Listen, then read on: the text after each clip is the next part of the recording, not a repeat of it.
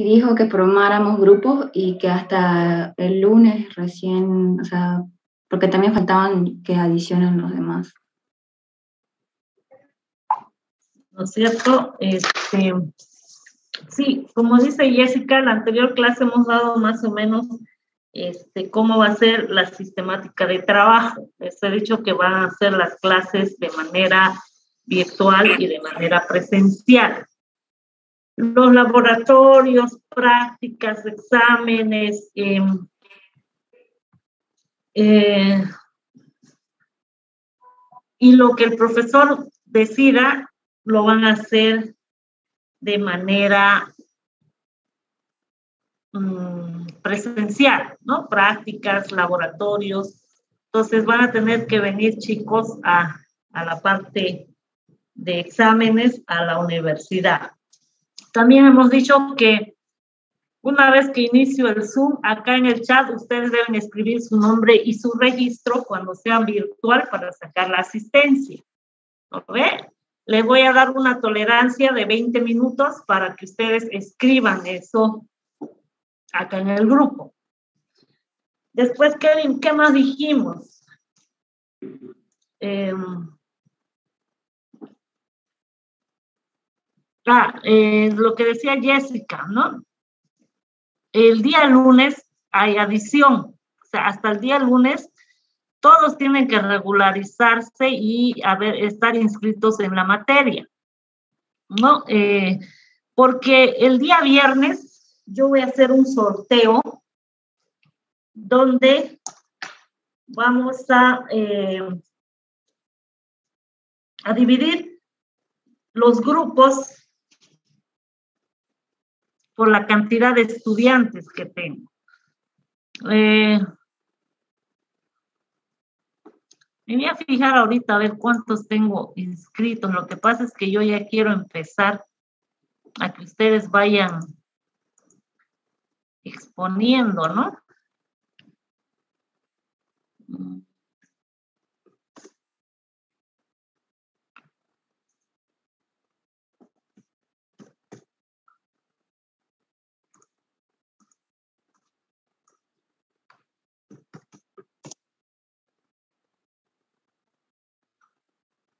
Ah, no es esta.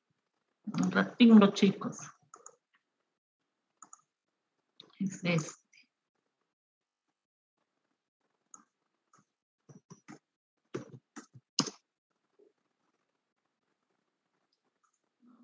Carga horaria, semestre 1, 20, 22. Aceptar. A ver, y al... Ah, tengo 70 estudiantes. Guay.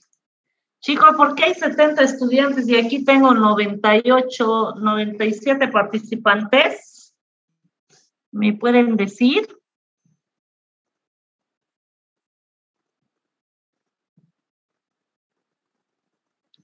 Chicos. Seguramente son los que van a adicionar. Eh, Josué, ¿usted está inscrito ya en la materia? Sí, ingeniero. Y el otro Josué, Daigor Josué Michel Iriarte. Sí, ingeniero, ya estoy inscrito. Mm. Ah, está también inscrito. ¿Quiénes no están inscritos? Yo, ingeniera, yo la voy a adicionar recién. Buenas tardes, ingeniera. También estoy esperando adición. Ah, ya Buenas tardes, ingeniera, yo también. Yo igual, ingeniera, voy a esperar edición. Sí, yo igual, ingeniera. Bien. Yo igual, ingeniera, yo igual. Dios mío, no más. Yo también, ingeniera. Ah, pero cumplen los requisitos. Claro que sí, Sí, ingeniera. ingeniera. Desde Sí, ingeniera. empieza adición. Sí, ingeniera. Josué, esa carita que manda, yo también estoy así asombrada. Aquí hay 100 estudiantes ya. Y creo que estos Zoom solo son para 100, ¿no? ¿O, o no? Sí, ingeniero. Entonces, si hay 101, ya no va a poder ingresar el, el, que, el que le toque 101.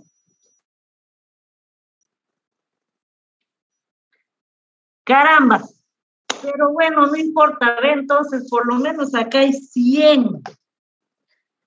100 y yo tengo cuántos temas de trabajo tenía, a ver. ¿Hasta cuánto se puede adicionar? ¿Cuántos alumnos? Eh, ¿Cómo hasta cuántos se puede adicionar? No entiendo. Eh, en total, ¿cuántos entran en su materia? No deberían entrar más de 100, pues niña, y eso, que 100 ya es alto. Y yo no sé si les van a permitir también en el sistema, por más de que cumplan el requisito, yo no sé si eh, habrá cupos para 100, digamos, ¿no? Porque ahorita eh, se supone que este, este grupo de WhatsApp, chicos, que se creó, es solamente para los que están inscritos en la materia. Yo no sé por dónde han entrado los demás. Digamos, los que no están inscritos eh, legalmente, porque eso dijo dirección de carrera. El director de carrera creó los grupos y solo con los estudiantes que estaban inscritos. Pero ahora, si me dicen aquí varios que no están inscritos, ¿cómo han entrado al grupo? Pregunto. Si para que se les mande un enlace o el enlace, me, me, imagino que han mandado solo a los que estaban inscritos, no a todo el mundo. ¿Y por qué han entrado los demás? A ver, los que no están inscritos como... Ingeniera, buenas tardes. En mi caso, yo le hablé a la persona que está encargada de meter a las personas inscritas y le dije que estaba esperando adición y por eso me metió al grupo. Entonces también ha hecho lo mismo con, con los demás, pues, ¿no? Me imagino. Ingeniera, buenas tardes. José Windsor. Buenas Este, tardes. Mayormente los docentes ahorita están dando tolerancia eh, los que no están inscritos para que logren inscribirse. Ya pasa la semana de, de adición, si no pudieron inscribirse y no abrieron más cupos, entonces están eliminando de los grupos. Ah, ya. Gracias, José Solamente los, alumnos, los, alumnos actuales en la lista, solo ellos van a quedar. Ah, Ok, gracias José Windsor. Entonces eso vamos a hacer. Eh, bien, chicos, eh, bueno, entonces por eso mismo yo quiero saber eh, en realidad cuántos estudiantes hay, porque necesito saber de cuántos grupos va, voy a hacer los temas. Yo tengo 18 temas para que hagan eh, grupos, si son 100, sería más o menos de 5.5, en realidad de 6 personas cada grupo, ¿ya? Vayan, eh, para no perderles, si es que disminuyen la cantidad de participantes o de estudiantes inscritos, menos de 100, entonces eh, ya los reducimos los grupos, pero como ahorita ya viendo que hay 100 personas, vayan haciendo grupos de seis personas. Hasta el día lunes, ustedes me envían al grupo de WhatsApp sus grupos, ¿ya? Por ejemplo, pueden, eh, un grupo, eh, José Windsor, eh, María Elena, Roxana, David, Salomón, Karen Chambi y Denise Soto. Ese es un grupo. Y el representante de ese grupo, entre paréntesis, lo van a va a ser José Windsor. Entonces, ese es el grupo. Y de acuerdo a, a lo que me llegue al grupo de WhatsApp, por ejemplo, nosotros somos los primeros en enviar al grupo de WhatsApp, entonces yo voy considerando que ese va a ser el grupo 1, el siguiente que mande va a ser el grupo 2 y así sucesivamente. Y el día lunes yo les voy a, voy a hacer un sorteo y les voy a asignar los grupos a cada, a cada uno, a cada grupo que me hayan enviado. Al día lunes, grupos de a seis personas. En caso que disminuyan el, el número de estudiantes, no sean 100, igual, pues voy a, vamos a eliminar a, unos dos y los demás se, se van a hacer otro grupo adicional. O sea, van, de los que vamos eliminando, vamos a formar otro grupo. ¿Ya? Para no pelar. Entonces, el, hasta el día lunes ustedes me envían grupos de a seis. Eso por un lado. Después, eh, los exámenes, ya les he dicho y les vuelvo a repetir, van a ser de manera presencial. ¿Ya? La ponderación la vamos a fijar el próximo viernes, donde ya, ya como el viernes ya no va a haber adición ni nada, ya vamos a saber cuánta gente hay y todo eso, y qué exámenes se toman. En la plataforma, chicos, ustedes saben que la universidad tiene una plataforma. La plataforma está disponible solamente para los estudiantes que están inscritos legalmente. Ya, eh, en la plataforma se carga todo, la, todo el avance de la materia.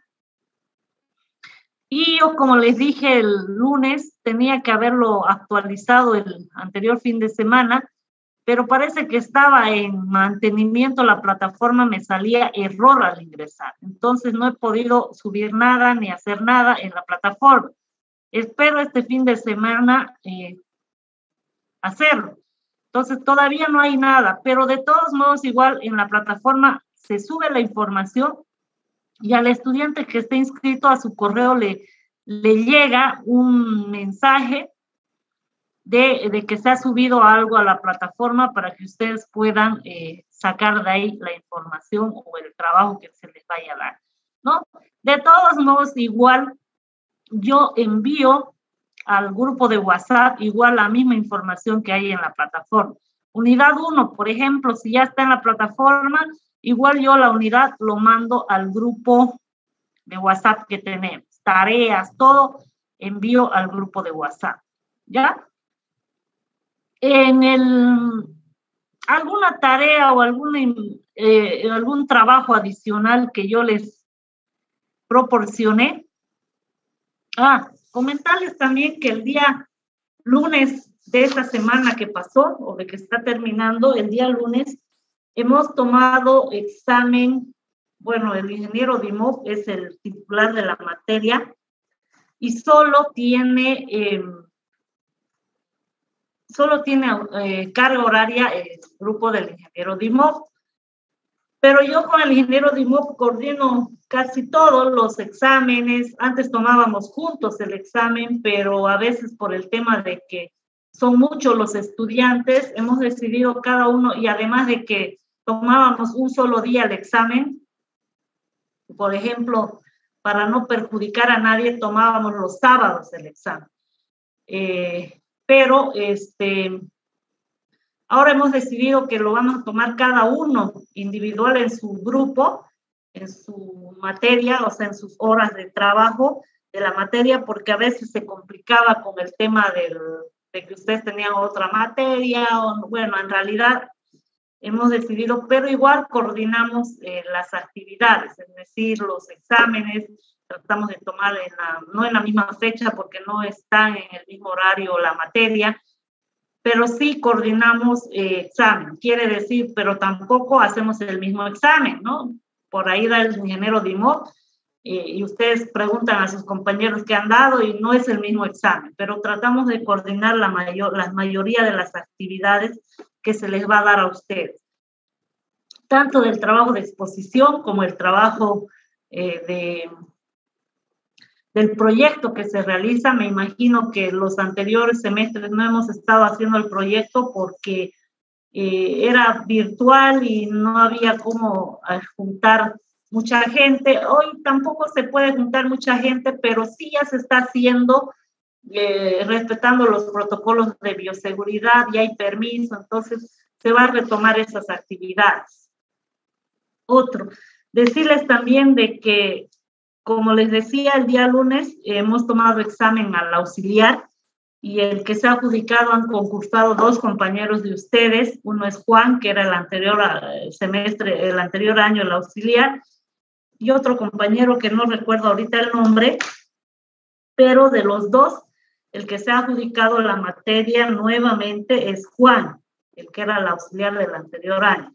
Entonces, él también va a ser el auxiliar de este grupo, ¿no? Entonces, con él van a tener que fijar una, una hora de ayudantía para la parte de ejercicios y práctica que se les va a dar. Él es el auxiliar de, los dos grupos, del ingeniero de IMOP y del grupo mío, ¿ya? Entonces, con él van a tener que coordinar alguna hora de, de ayudantía. Eso. ¿Qué más? Eh,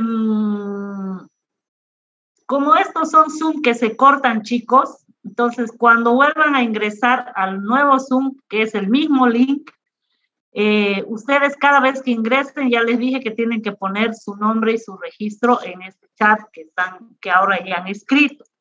Igual les voy a dar una tolerancia de 20 minutos para que ustedes puedan escribir, porque por ahí eh, José Windsor, digamos, entró al primer Zoom, puso su nombre ya, ya dijo, ya tengo presente ya, pero ya no va a entrar al, al segundo y si hay un tercero un cuarto, no lo sé.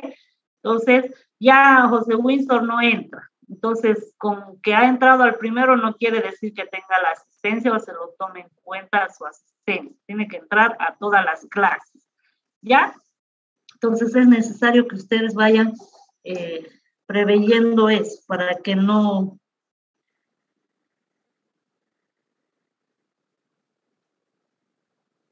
Eh, para que no tengamos problemas. Bien, chicos, eso por un lado y después a medida que vamos avanzando, igual yo les voy a ir diciendo algunas eh, cosas que se me haya olvidado.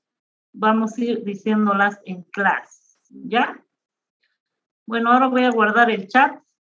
Me imagino que todos ya han escrito su nombre y su registro. Ya lo guardé para eh, tomar en cuenta esta asistencia. Eh, bien, hoy vamos a empezar con el avance. Les voy a mostrar o les voy a compartir en mi pantalla el, el tema de, de hoy. Que igual lo voy a enviar esto a la plataforma, va a estar también disponible en la plataforma, yo creo que el fin de semana, y va, lo voy a enviar al grupo de WhatsApp también. Fundamentos del control automático es la primera unidad que vamos a ver, ¿no? Eh, vamos a hacer una, una introducción a esto. Vamos a ver cómo se clasifica la automatización, cuáles son los beneficios de la automatización. Vamos a ver un poquito la estructura de un sistema de control. Vamos a ver la, los sistemas de control de lazo abierto y lazo cerrado. Eh, vamos a ver la función del control automático, los controladores y las acciones básicas usadas en el control de procesos, ¿no? Eso es lo que más o menos vamos a ver en lo que es eh, control automático. Eh, bien, ahí está una pequeña introducción. Dice, el control automático es una pieza clave que ha contribuido con el desarrollo de la sociedad, siendo una parte integral de las áreas industriales como petróleo y gas la generación de energía eléctrica, textil, la industria alimentaria, la industria automovilística, entre otros, que mediante el control de diversos mecanismos que regulan las variables e inherentes al producto final. Dichas variables son la presión, temperatura, humedad, viscosidad, flujo, entre muchas otras. Y es importante tener conocimiento, dice, acerca de la teoría y la práctica del control automático, ya que este es un mecanismo capaz de abaratar el costo final del producto, mejorar su calidad mediante la agilización de los procesos manuales, ¿no?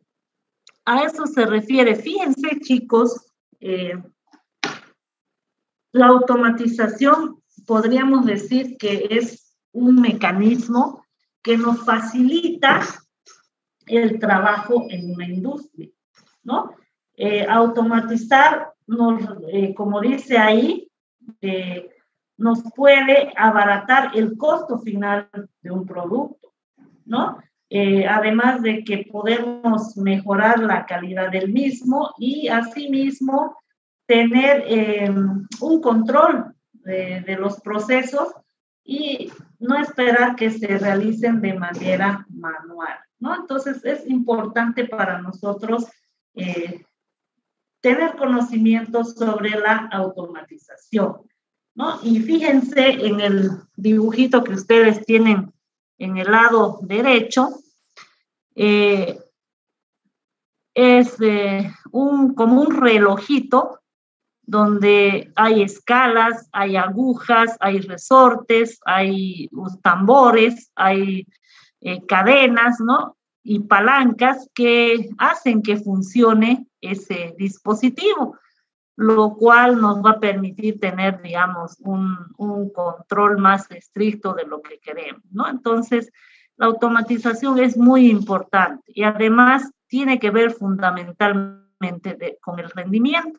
Miren, ahí dice la producción más la organización más la automatización, que nos da un producto, un buen rendimiento. Es decir, el desafío se llama calidad de producto y economía. ¿no? Eh, si bien eh, la implementación hay que tomar, hay que tenerlo también claro que si bien la automatización es un, eh, un paso a una tecnología que estoy aplicando, el, el el instalar, el aplicar esta tecnología al principio va a ser caro, ¿no? Porque los dispositivos, los equipos que se utilizan para automatizar, pues tienen su precio. Pero una vez que ya esté automatizado, esto eh, se reduce, se abarata costos, ¿no?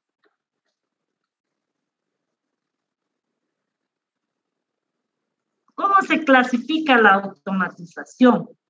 La automatización puede ser fija cuando tenemos volúmenes de producción alta, puede, puede ser programable cuando la, ah, eh, los volúmenes de, de, producción es baja y puede ser flexible cuando hay un volumen de producción media. Entonces, nosotros de acuerdo a esos rangos podemos eh, clasificar la automatización dependiendo en qué, en cuál de estos nos encontramos. Cuando hablamos de automatización fija, esta se utiliza eh, cuando el volumen de producción es muy alto, como les decía. Por tanto, se puede justificar económicamente el alto costo del diseño del equipo especializado para procesar el producto como un, con un rendimiento alto, ¿no? Y las tasas de producción elevadas. Además, eh, de esto, otro inconveniente de la automatización fija es su ciclo de vida, que va de acuerdo a la vigencia del producto en el mercado. Entonces, eh, ¿cómo voy a elegir también eh, o, en, qué, en, en, qué punto se encuentra mi, mi empresa en el tema de, de, clasificando la automatización? Pues ustedes verán que estos, por ejemplo, cuando mi volumen de producción es alto, tengo que utilizar la automatización fija, ¿no? La automatización programable, chicos, se emplea cuando el volumen de producción es relativamente bajo y hay una diversidad de producción a obtener. En este caso, el equipo de producción es diseñado para adaptarse a las variaciones de la configuración del producto. Esto se realiza mediante un software, ¿no? Por su parte, la automatización flexible es más adecuada para un rango de producción medio. Estos sistemas flexibles poseen características de automatización fija y automatización programada. Entonces, la automatización flexible es una que eh, combina ambas, ¿no? La fija y la programable. Eh, los sistemas flexibles suelen estar constituidos por una serie de estaciones de trabajo interconectadas entre sí por sistemas de almacenamiento y manipulación de materiales controlados en su conjunto por una computadora. ¿no? ¿Cuáles son los beneficios de la automatización, chicos? ¿Por qué debemos automatizar un, eh, una empresa o un, un proceso? No sé, la automatización, ¿qué me permite? Principalmente competir en cualquier mercado, ¿no? Los productos que yo elaboro, saco, eh, van a ser eh, más competitivos en el mercado. También me permite controlar los procesos con mayor precisión, ¿no? Eh, son más exactos, podríamos decir, ¿no? La precisión y la exactitud, como vamos a ver, es, es importante en el tema de la automatización. Son más precisos. los rangos en que yo me voy a mover eh, con la automatización son más precisos, no hay mucha variación, entonces eso me permite tener un mejor control también del proceso, ¿no? También me permite lograr productos más uniformes y de más alta calidad, ¿no?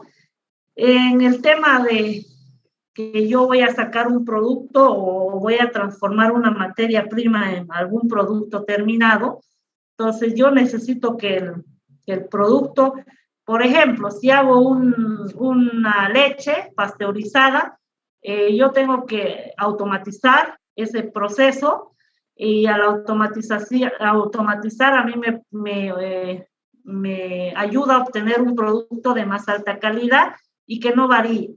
¿no? Todos los días yo tengo que sacar esa leche pasteurizada con las mismas características. No puedo un día eh, sacar la leche con más grasa y al otro día con menos grasa al otro día con menos sólidos, al otro día con más sólidos. Entonces me permite eh, tener más, o sea, que el producto sea más uniforme, ¿no?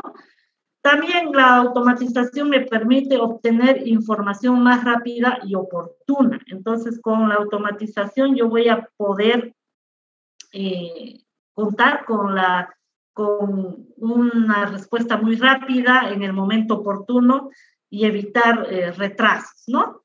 También manejar de manera más eficiente el control de una gestión, ¿no?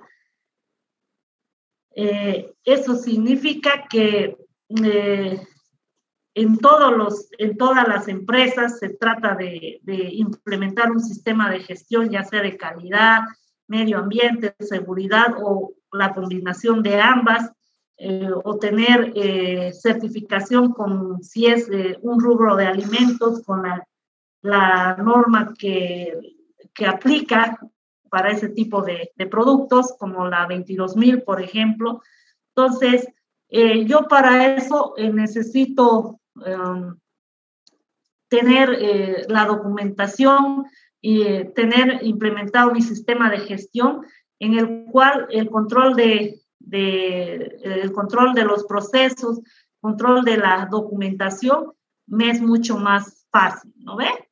También me permite lograr, mejor, lograr mejores beneficios económicos. Como les dije, al principio eh, se hará una inversión para automatizar la, la empresa, pero una vez que está automatizada se reduce el rendimiento o se aumenta el rendimiento, se reducen pérdidas, hay mayor eh, eh, ganancia económica, que eso se lo, se lo puede reflejar una vez que, que se implementa.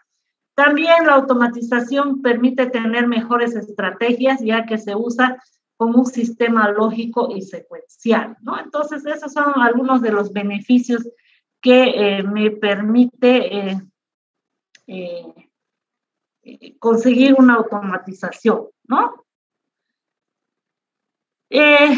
la estructura de un sistema de control está siempre relacionado la interfase del hombre-máquina, ¿no? Porque em, por más de que automaticemos, chicos, un sistema, el tema de, que eso es una máquina, algún rato puede fallar, ¿no? Entonces, por eso debe haber una interacción entre el hombre eh, y la máquina, como se dice. Por eso hablamos de la interfase hombre-máquina, ¿no? En la automatización o en un sistema de control, nosotros vamos a eh, como, pueden ver acá en la imagen, vamos a tener un proceso donde vamos a tener módulos de entradas ¿no? A través de algunos controladores. Y estos módulos de entrada también tienen algunos módulos de salida, que para nosotros los módulos de salida eh, son los actuadores. Los sensores, ¿qué son los actuadores? Se conectan a las salidas de la unidad electrónica de control. Estos reciben las órdenes o las, eh, para ejecutar las tareas. Eh, también transforman la corriente eléctrica de mando en movimiento, calor, luz, etcétera. Eh, los actuadores pueden ser los motores, los electroimanes, las bombas, las lámparas, los, las electroválvulas, las resistencias, etcétera. ¿No? Dentro de esto, también en los módulos de entrada, nosotros vamos a tener los sensores. Estos sensores eh, constituyen las entradas de la unidad electrónica. Estas son las que introducen la información al sistema, transforman una magnitud física en una señal eléctrica y también según la magnitud física que captan, existen sensores de temperatura, de caudal, de presión, de velocidad, de posición. Eh, la señal eléctrica que envían puede ser analógica o también puede ser ya vamos a ver más adelante a qué se refiere con eso. ¿no? Entonces, ese proceso es continuo. Nosotros siempre vamos a tener módulos de entrada, que son nuestros sensores. Va a haber un controlador eh, que, que es la interfase hombre-máquina y vamos a tener un módulo de salida donde vamos a tener eh, los actuadores que luego esos se van a aplicar al proceso. Entonces, esto es un ciclo que va que es continuo, ¿ya? En los sistemas de control eh, vamos a ver que existen dos tipos. El sistema de lazo abierto, en el cual se puede definir como, como la salida, o en el cual la salida no afecta a la entrada del mismo, ¿no? Por ejemplo, nosotros tenemos el controlador el controlador va a eh, afectar al proceso, vamos a tener un elemento de medida y un indicador registrador. Si ustedes se fijan, acá dice, acá hay un ejemplo. Por ejemplo, eh, si nosotros tenemos un sistema, una caldera, ¿no? un, un, caldero, donde el operario quiere poner esta caldera a 70 grados centígrados, eh, si como él está pensando, ¿no? Ahí si ustedes ven en la imagen, dice, eh, quiere poner la temperatura de esa caldera a 70 grados centígrados, ¿no? Entonces, acá tiene que colocar un sistema de control, por ejemplo, tiene que poner una válvula, eh, que en este caso, eh, esta válvula se va a abrir cuando la temperatura esté muy baja. Cuando esté a 50, él quiere ponerla a, a 70, entonces tendrá que hacer que pase más calor, para lo cual deberá inyectar más gas o más carbón o algún otro combustible que él esté usando para que haya mayor combustión, haya mayor cantidad de calor y esto entre al, al, al, sistema que nosotros queremos tener, ¿no? Entonces, los sistemas de lazo abierto son, los, eh, son aquellos que, en el cual la salida no afecta a la entrada del mismo. ¿no? Eh, en, un sistema de lazo abierto no existe una retroalimentación, chicos. Los sistemas de este tipo, por lo general, se regulan, eh, previamente están calibrados y tienen un cierto margen de error y a lo cual el usuario necesita hacer una recalibración, no son sistemas precisos, ¿no? Eh, en este caso. Ese es un sistema de lazo abierto. ¿Qué características tiene? No se compara la salida con el eh, no se compara la salida del sistema con el valor deseado de la salida del sistema. O sea, eh, no, a veces el valor no llega al valor que nosotros necesitamos. Para cada entrada de referencia le corresponde una condición de operación fijada. También la exactitud de la salida del sistema depende de la calibración del controlador. En presencia de algunas perturbaciones, estos sistemas de control no cumplen su función adecuadamente.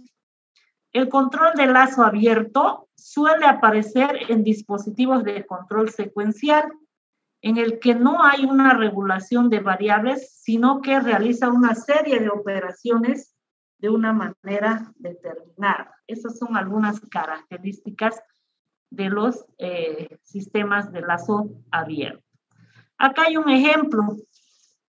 Eh, por ejemplo, la regulación eh, del volumen de un tanque.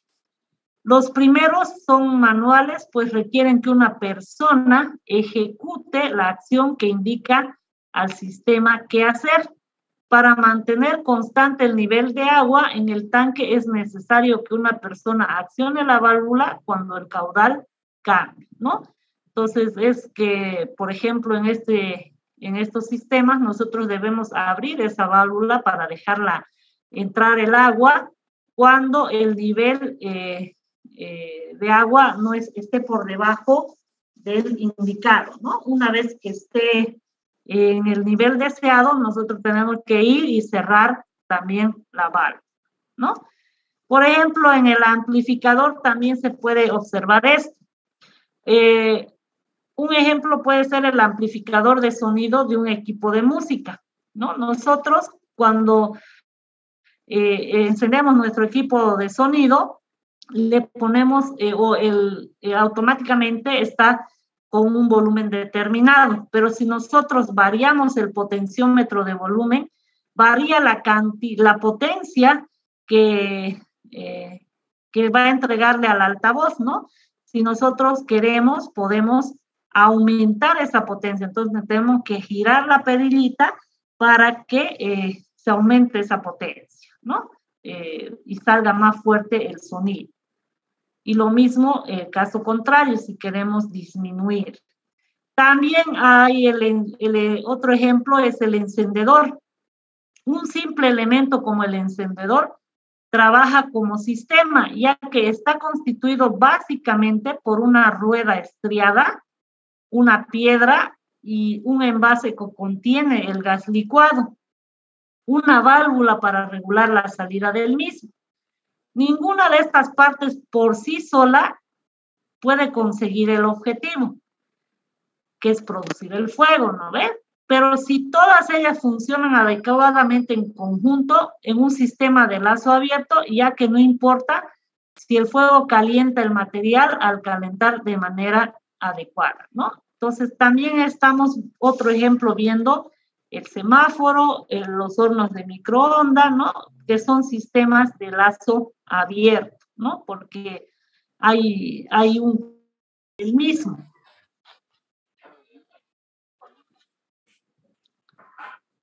A ver, audios, chicos. Un ratito voy a silenciar a todos.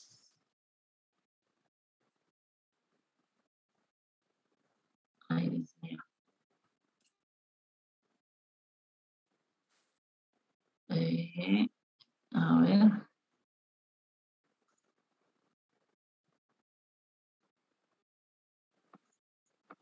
Ya.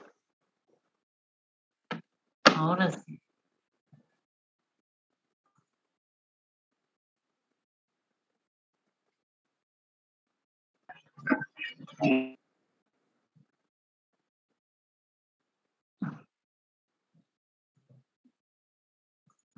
Ya. Decíamos que los de lazo cerrado, eh, en este la diferencia es que la salida del sistema sí se ve afectada a la entrada del mismo, o sea, es decir, que sí afecta, ¿no? Por ejemplo, eh, en el caso de nosotros en un sistema de lazo cerrado, vamos a tener un controlador, después una válvula el tanque, pues en este caso, y del tanque va a salir a, un flotador que este va a controlar el nivel deseado de agua que tenemos, ¿no? En la primera imagen dice, se tiene un diagrama de bloques en el cual tenemos una retroalimentación, es decir, la salida del sistema eh, del sistema, el nivel real de agua está siendo afectada por una retroalimentación, en este caso el flotador, que va a afectar a la entrada como, como tal, ¿no?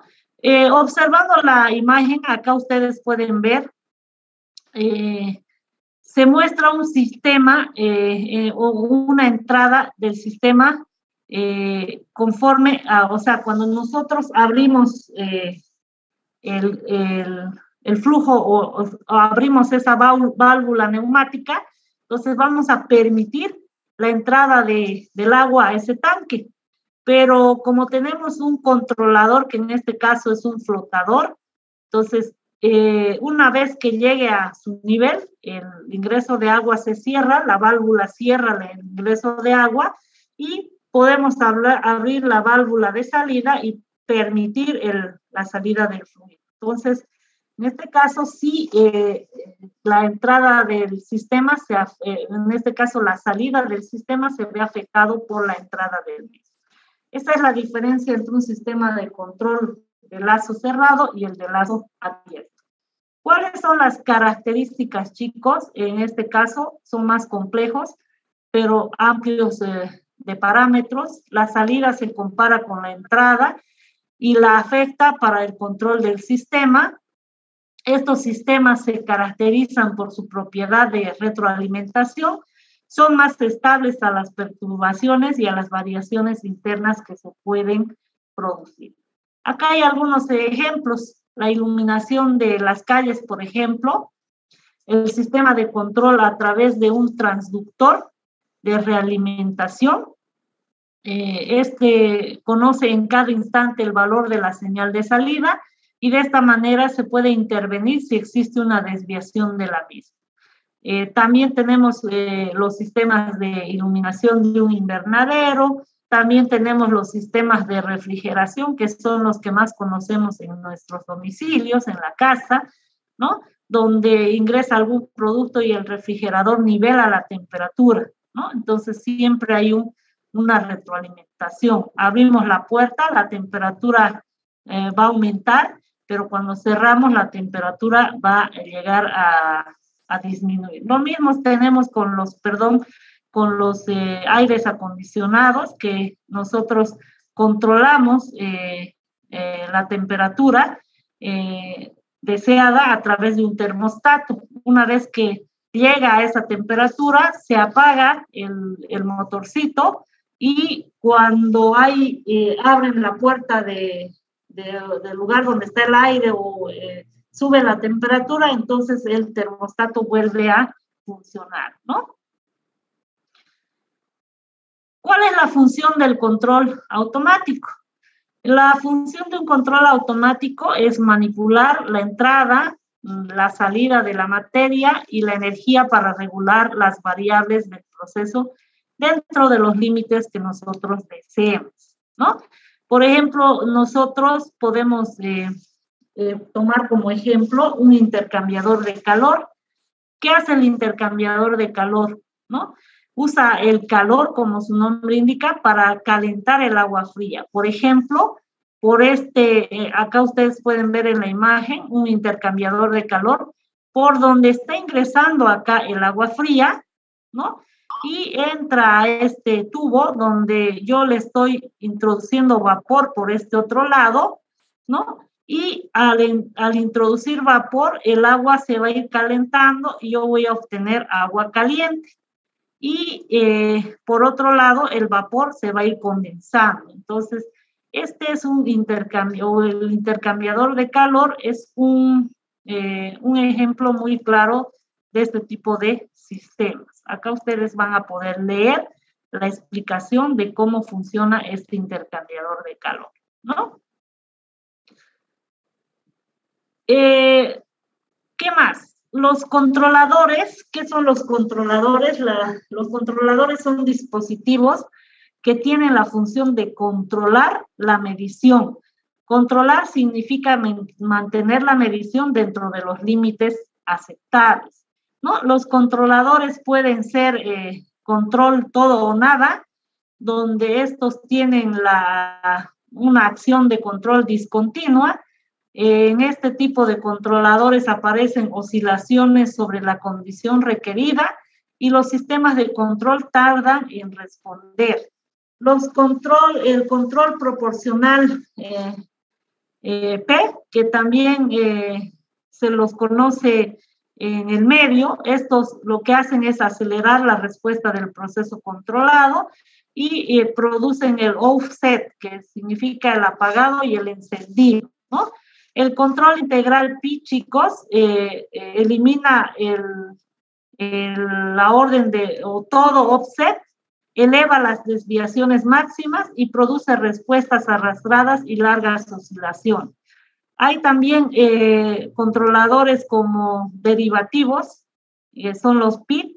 Ah, estos anticipan el error, actúan en función del error, estabilizan la respuesta eh, en los dispositivos de lazo cerrado.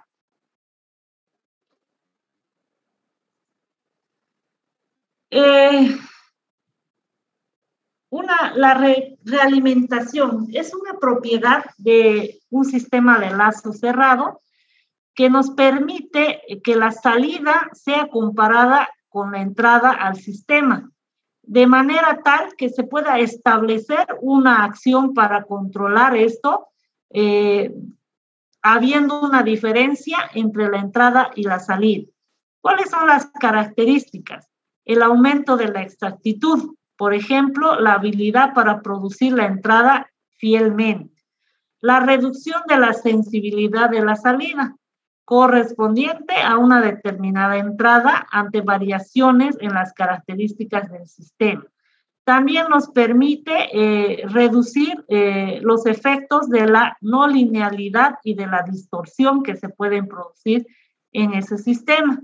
Un aumento del intervalo de frecuencias de la entrada en el cual el sistema responde satisfactoriamente y la tendencia a la oscilación o a la inestabilidad. ¿No? Eso es un poquito lo que les quería hoy compartir sobre los fundamentos del control automático.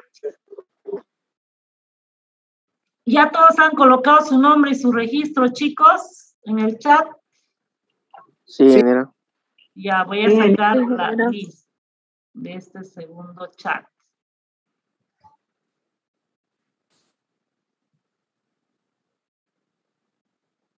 Guardar. Ya. Entonces, eso era lo que vamos a avanzar hoy. El día lunes vamos a continuar.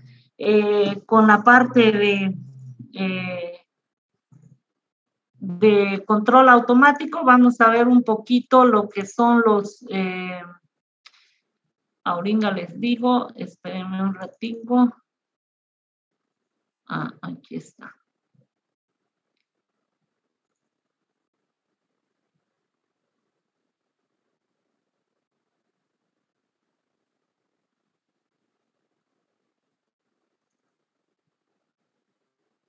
Tecnología de control, vamos a ver el día lunes, eh, los fundamentos ya se los voy a pasar esto y el día viernes, mm, ya les voy a, digo, el día lunes también les voy a asignar los trabajos y les voy a dar cómo voy a, cómo quiero que presenten y el día viernes ya, ya estuvieran eh, eh, exponiendo los primeros grupos, el primer grupo, los primeros dos grupos, ¿ya? Entonces, acá vamos a quedar, chicos. El día lunes nos vemos.